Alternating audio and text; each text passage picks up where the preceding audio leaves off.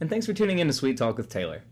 Today we'll be discussing the estimate versus actual report within Construction Suite, which can use your QuickBooks financial information such as bills, checks, paychecks, and credit card transactions to measure your current financial performance on your job. The estimate versus actual report can either be used to show your variance on only the items that you've begun working on and billing for, or it can give you the variance between your total estimate cost and total cost to date.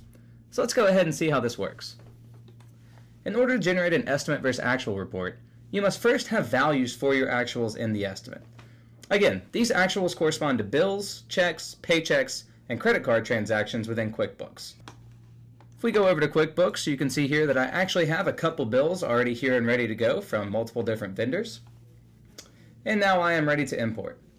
We can do this by going back to our estimate, to our QuickBooks integration tab, and selecting to import from QuickBooks. We can now select to import our QuickBooks actuals. And you have some options as far as which actuals you would like to import, but for our purposes, we want to see our total actual cost to date, so we're just going to include everything, and go ahead and select OK to import. Now if you're having trouble importing your actuals, be sure to check out our Suite Talk on importing QuickBooks transactions to see where you may be going wrong. As you can see, I now have values in my QuickBooks actual column that I've imported from QuickBooks, and I'm now ready to generate my report.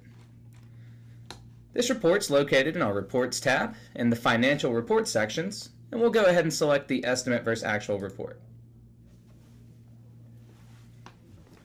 Now, when you choose to generate this report, you'll have a few options. The first one's going to be whether or not you would like to include sections marked as option. So if you have any option subcategories within your estimate, you can choose to include those in the report. The next two are going to determine what type of information is actually going to show, and it's really going to be important as far as if you're getting information on the job as a whole or just the job to date. Uh, so the first option here is going to be including selections with no value, and this is going to mean if you have items in your estimate that have a zero dollar total cost, um, then you can include those in the report.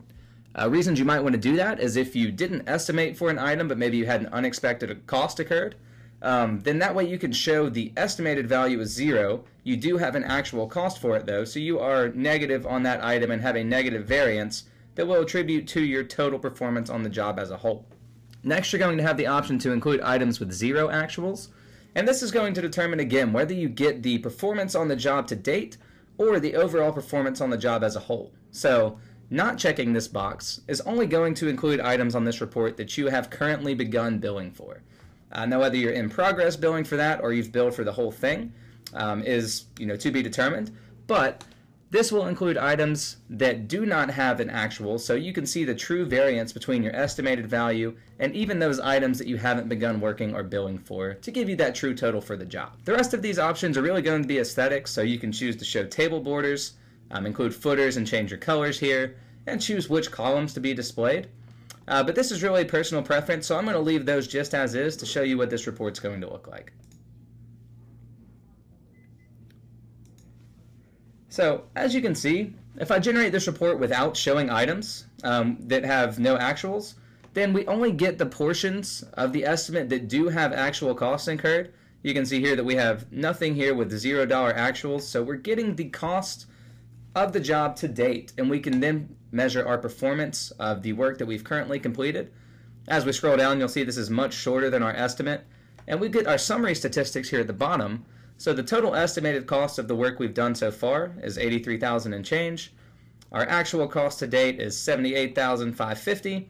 So we can see that we then have a variance of about $4,700, which is really going to be the profit or a margin that we've made up to this point.